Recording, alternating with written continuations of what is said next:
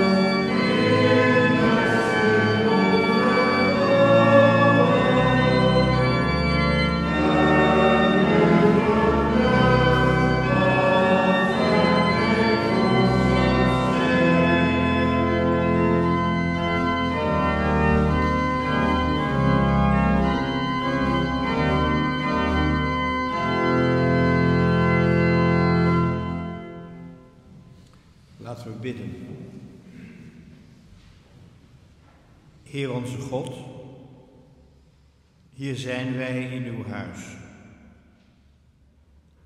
U kent ons,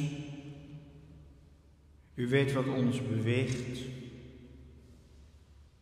U weet op welke vragen wij zoeken naar een antwoord. U kent onze gedachten. Open onze harten richt ons op U. Door Jezus Christus onze Heer. Amen.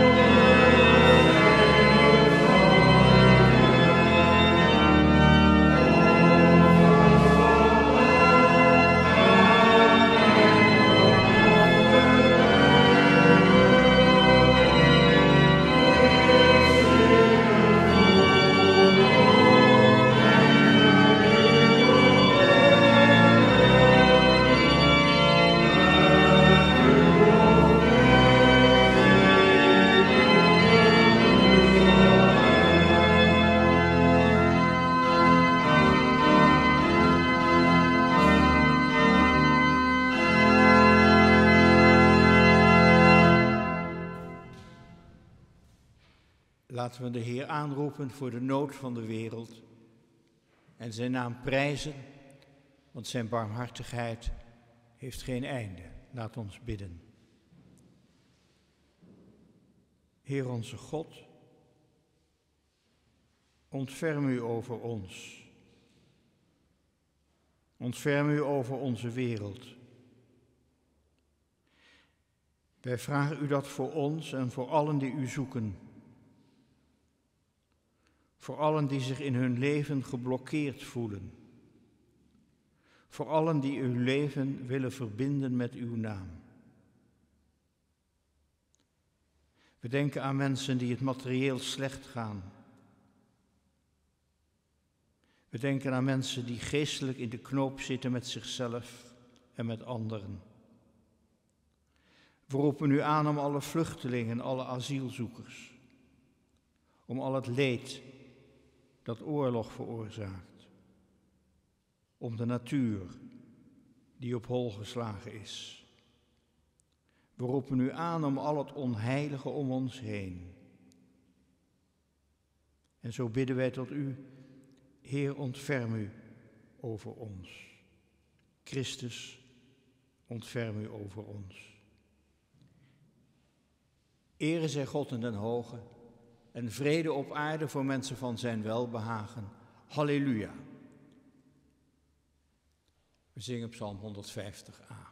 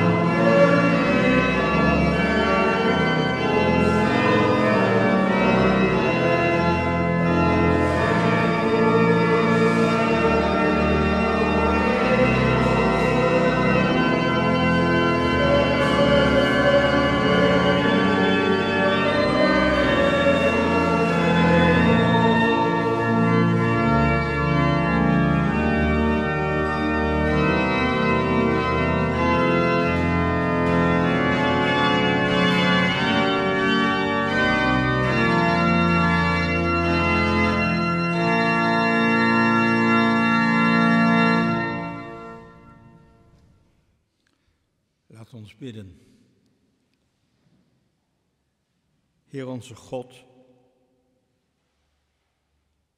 wees met ons als we gaan lezen uit uw woord. Open ons hart. Richt ons op u. Leid ons tot iets van geloof iets van kracht, iets van stevigheid in deze wankele wereld. Amen.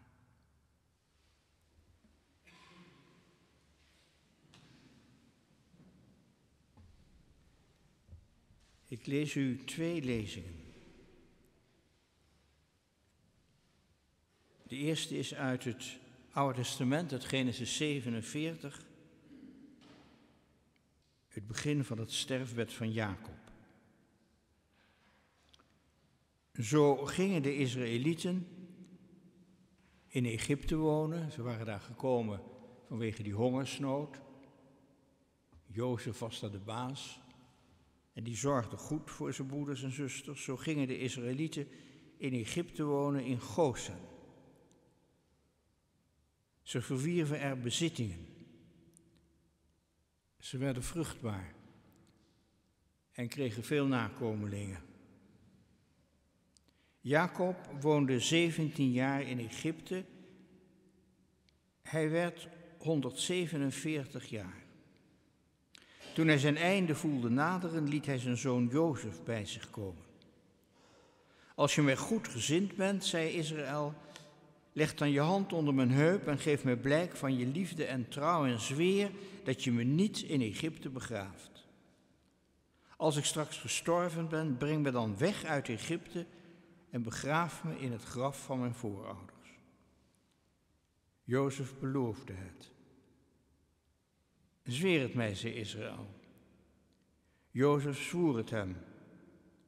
En daarna knielde Israël neer op het hoofdeinde van zijn bed. De tweede schriftlezing is uit Lucas 2, vers 36 tot 38. Als Jezus met zijn ouders in de tempel is, dan ziet hij daar een profetes. Er was daar ook een profetes, Hanna, de dochter van Fanuel uit de stam Aser. Ze was hoogbejaard. Vanaf haar huwbare leeftijd had ze zeven jaar met haar man geleefd en ze was nu al 84 jaar weduwe. Ze was altijd in de tempel waar ze God dag en nacht diende met vasten en bidden. Op dat moment kwam ze naar hen toe, naar Jezus en zijn ouders, bracht hulde aan God en sprak over het kind met allen die uitzagen naar de bevrijding van Jeruzalem. Tot zover de schriftlezing. We zingen nu gezang 556.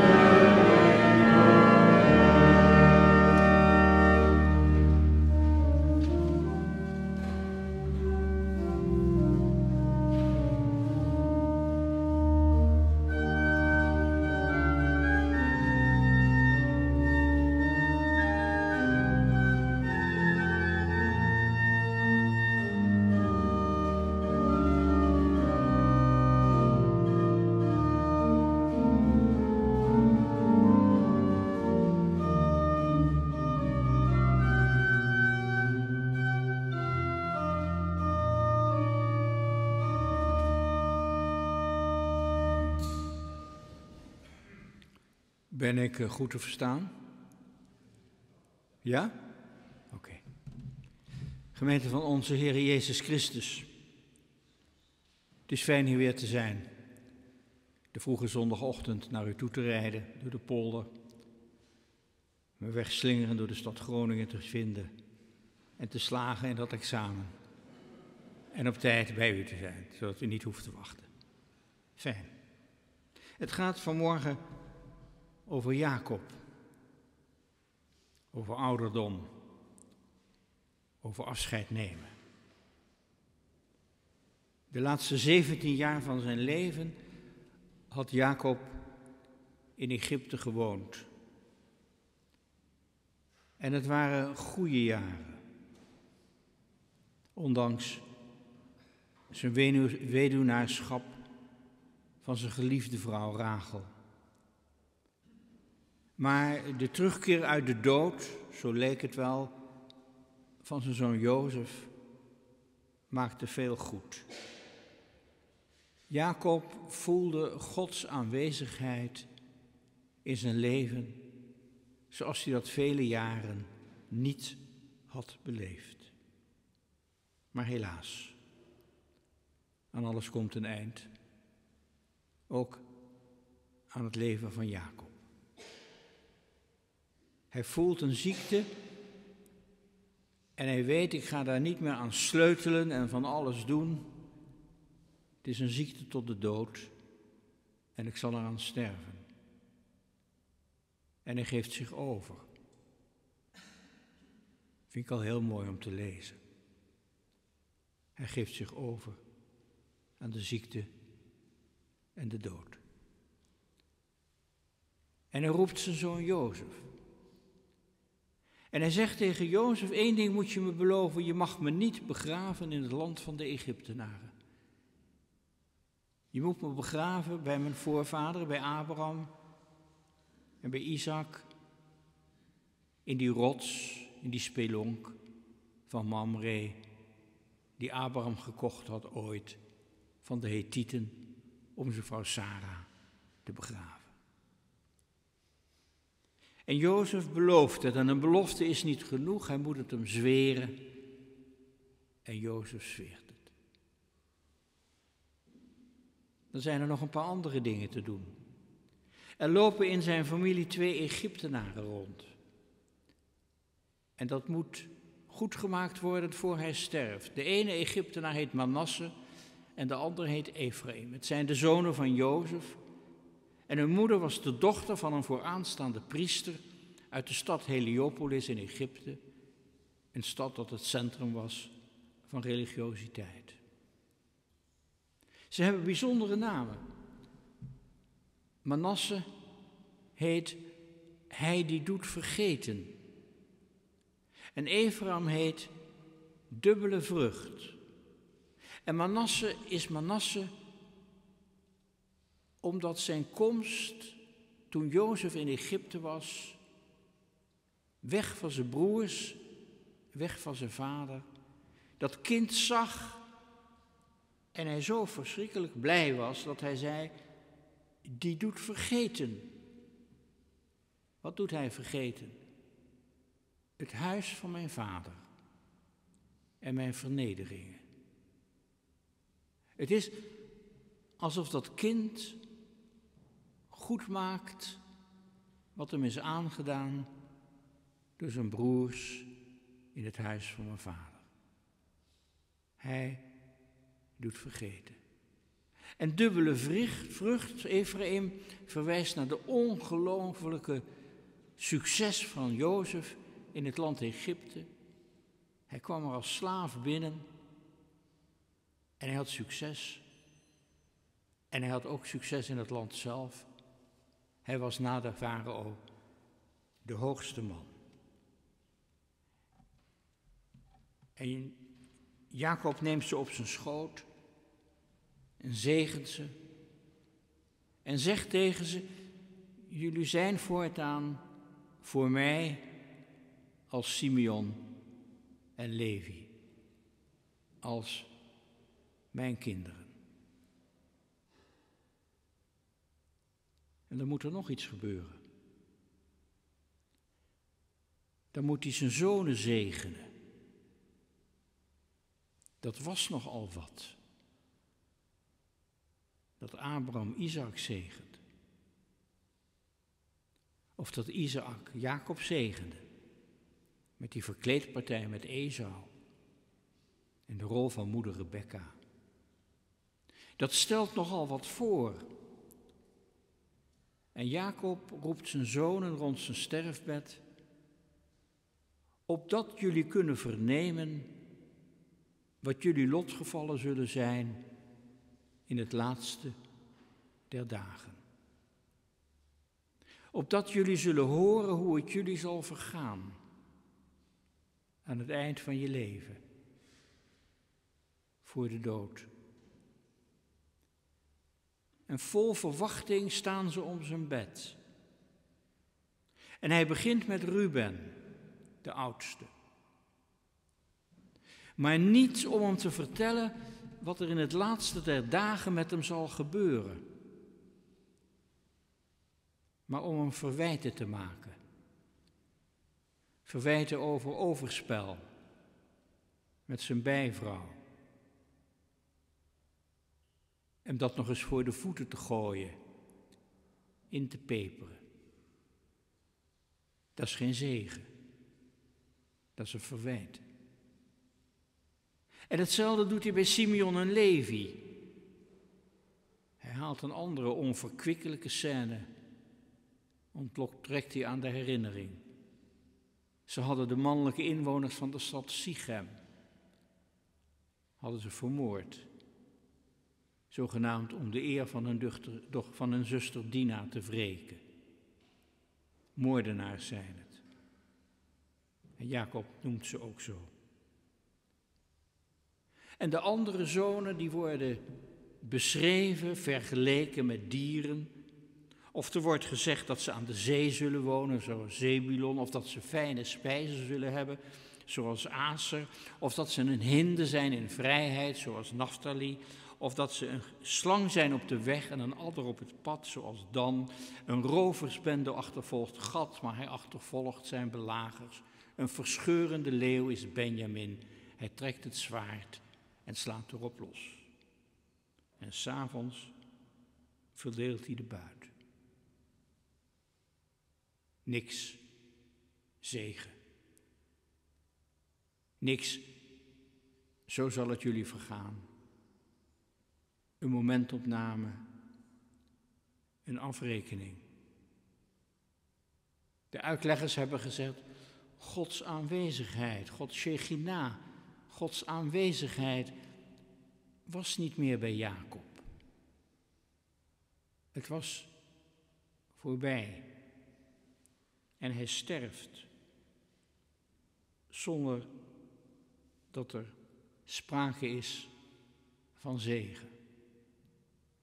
Zonder dat de naam van God valt.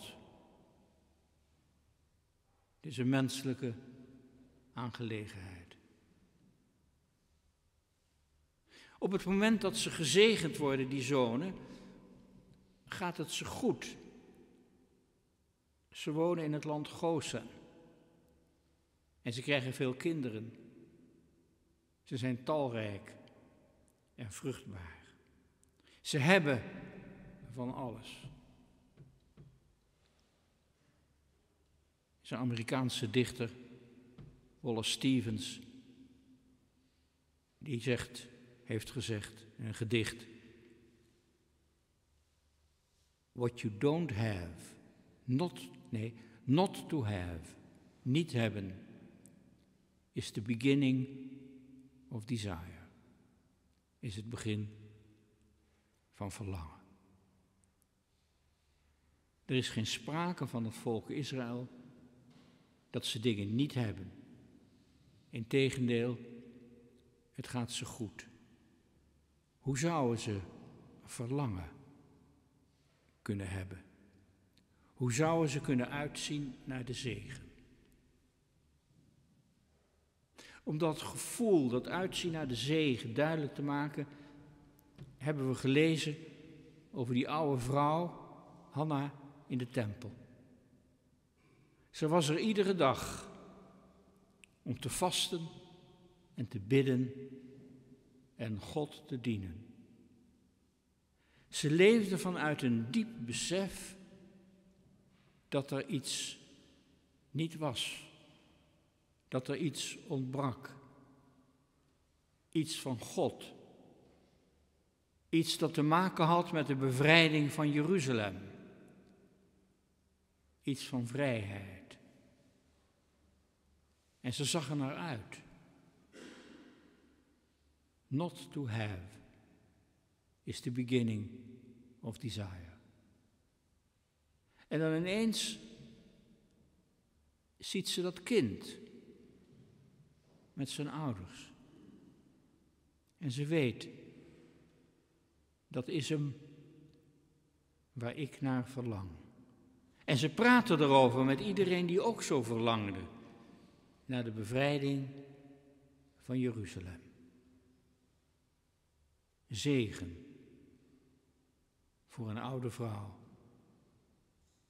die het leven leidde in het besef iets te missen. Het verhaal gaat verder met Israël, met het volk in Egypte. En het loopt daar niet goed af. Hun talrijkheid wordt ze niet in dank afgenomen. Ze krijgen een program om zich heen. Hun jongetjes worden verdronken in de Nijl. Alles gebeurt om ze te vernietigen. En uiteindelijk klinkt het geroep tot God. Ongearticuleerd geroep tot God zonder woorden. Gegrom, gekreun, schreeuwen. En God hoort de ongearticuleerde schreeuw van zijn volk. En God staat er, God hoort, Hij herinnert. Hij luistert. En het is alleen nog maar ongearticuleerd geschreeuw.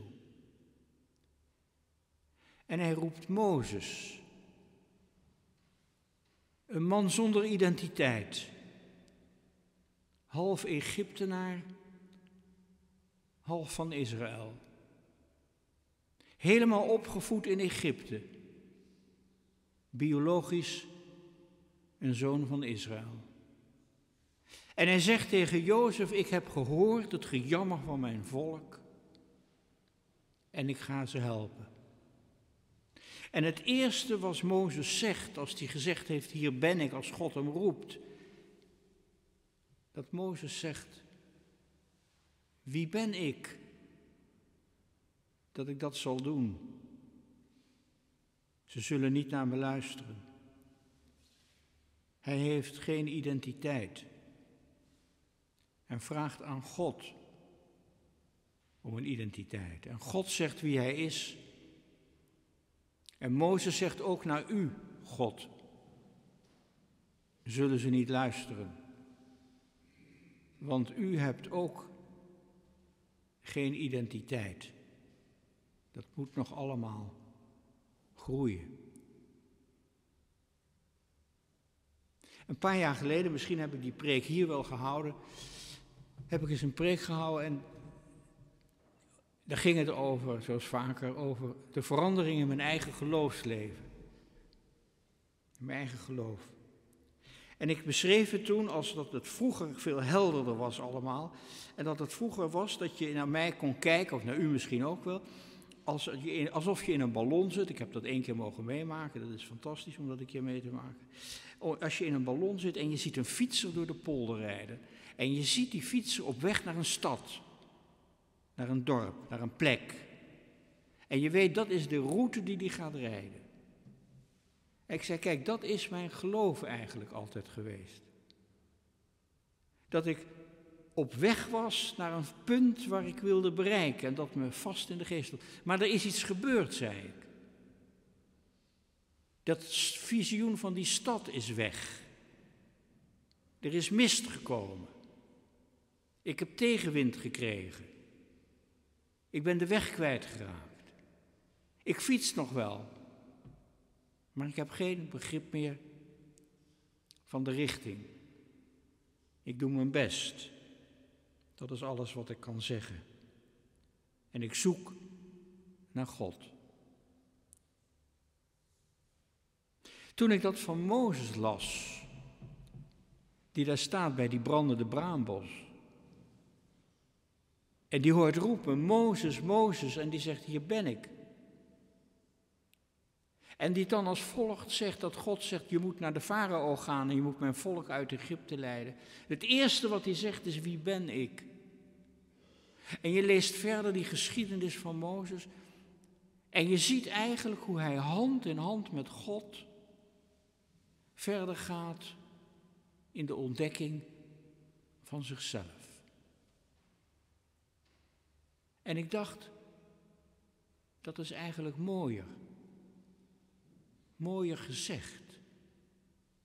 Dat je hand in hand met God je leven gaat. En dat je gaandeweg verandert. Afhankelijk van wat je tegenkomt. Maar dat God ook verandert. Zoals God verandert in de omgang met zijn volk Israël. God trekt bij. God heeft spijt van dingen. God vindt zichzelf te emotioneel. God vindt zichzelf te hard in zijn oordeel. God vraagt aan Mozes hoe die het zal doen. En Mozes vraagt het aan God. En samen zijn ze op pad naar de vervulling van de belofte. Want ze zijn zich ervan bewust wat ze niet hebben. Not to have is the beginning of desire. En ik verbaasde me erover dat ik nu na al die jaren dat nu pas zie. Dat God met Israël meegaat en dat op het moment van het begin God zijn identiteit nog moet krijgen. En dat God dat krijgt in 40 jaar woestijn, zoals Israël de identiteit krijgt in 40 jaar woestijn.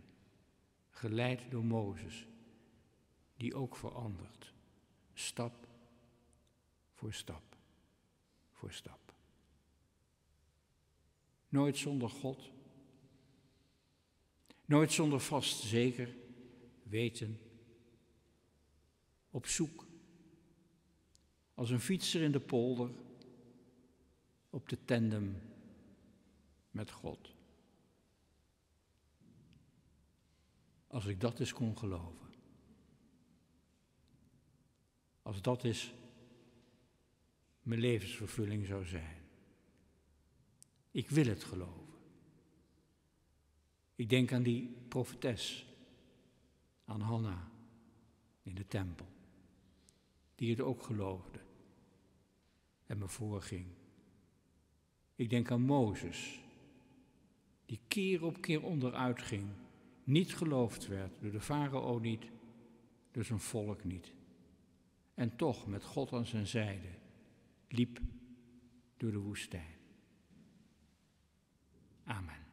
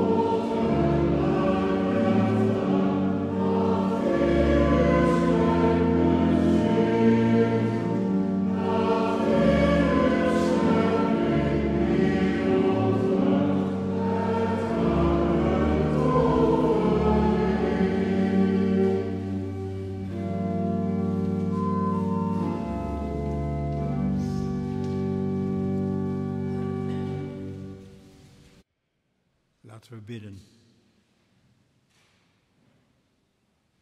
Heer onze God, geef ons de moed te roepen, hier ben ik, als u ons roept. Geef, u, geef ons de moed met u op pad te gaan, door het leven, door de woestijn, door op de manier zoals u ons voorgaat. Help ons in ons geloof. Richt ons op U.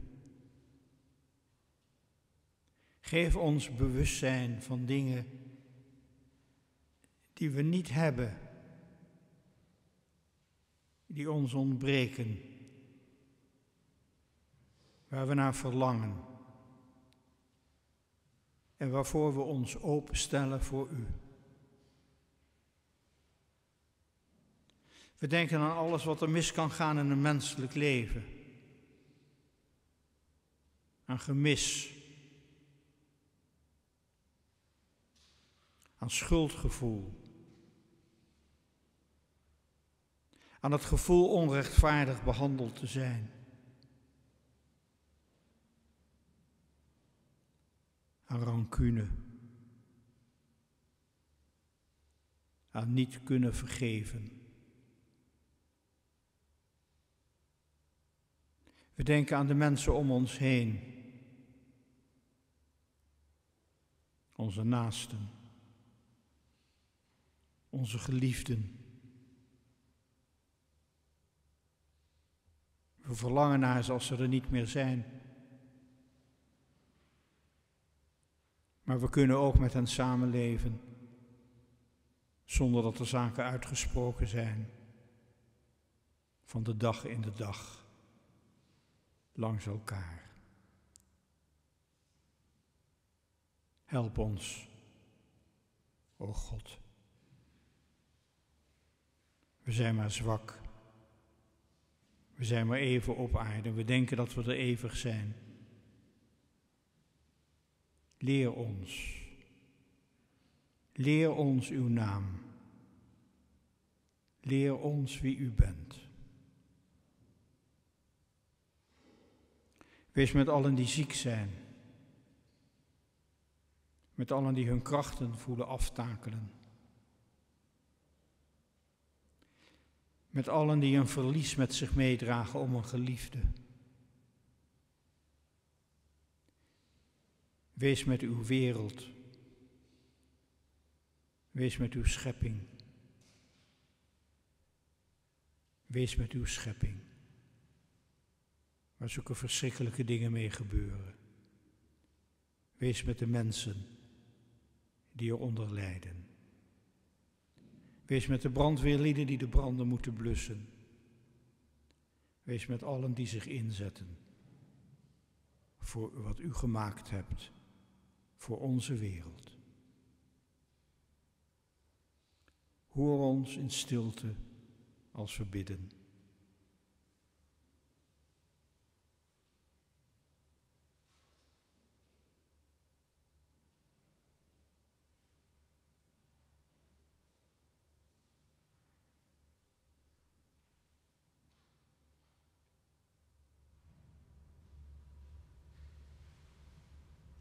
Onze Vader in de hemel, laat uw naam geheiligd worden. Laat uw koninkrijk komen en uw wil gedaan worden, op aarde zoals in de hemel. Geef ons vandaag het brood dat wij nodig hebben. En vergeef ons onze schulden, zoals ook wij hebben vergeven wie ons iets schuldig was. En breng ons niet in beproeving, maar red ons uit de greep van het kwaad. Want aan u behoort het koningschap, de kracht en de macht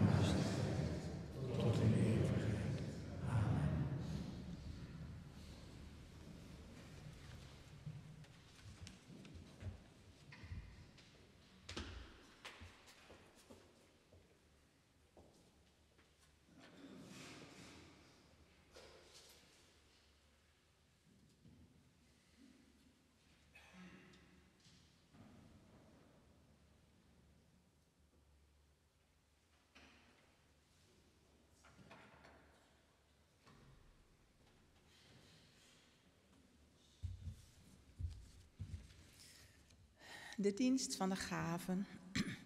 Vandaag maakt de diaconie een bedrag over aan Stichting Help Afrika.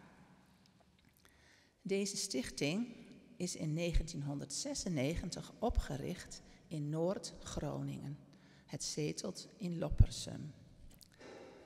Zij heeft als doel het verstrekken van hulp aan en het mede opzetten van kleinschalige projecten in Afrikaanse ontwikkelingslanden. Onder andere in het Keniaanse dorp Marigat, waar 3600 vluchtelingen van de Turkana-stam wonen in een vluchtelingendorp. Deze mensen hebben geen recht op overheidsvoorzieningen. Stichting Afrika heeft enkele huisjes gefinancierd en verzorgt voedseluitreiking aan de meest hulpbehoevende Turkana's.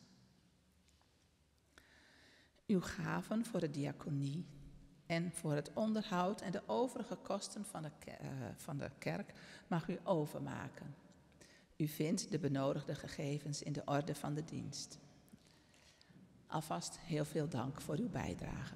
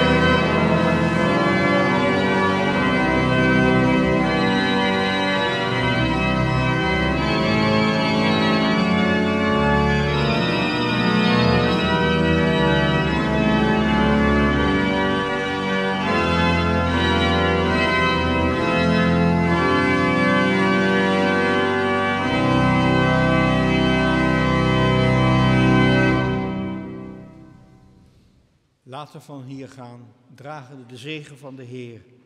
De Heer zegent ons en Hij behoedt ons. De Heer verlicht zijn aangezicht naar ons en is ons genadig.